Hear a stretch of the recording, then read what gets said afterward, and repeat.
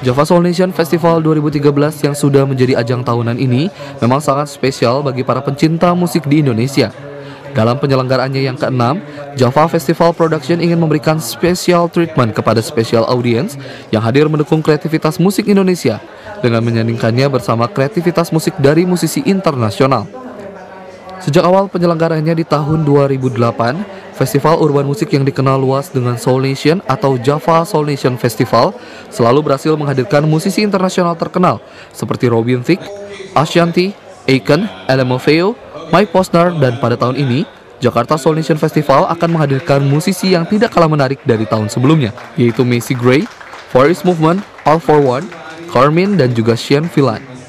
Tidak hanya artis internasional saja yang akan hadir di Jakarta Soul Nation Festival, tetapi musisi Indonesia pun turut memeriahkan acara musik internasional ini, seperti Teza Sumendra, Raisa, Tulus, Project Pop, Adera, Tangga, dan masih banyak musisi lainnya yang akan memeriahkan Java Soul Nation Festival 2013, baik dari musisi dalam negeri maupun internasional. Uh, yes, jadi uh, Elela Java Soul Nation kita yang ke-6 tahun ini, uh, dan ini sebuah achievement tersendiri buat kita karena uh, sebuah international music festival itu baru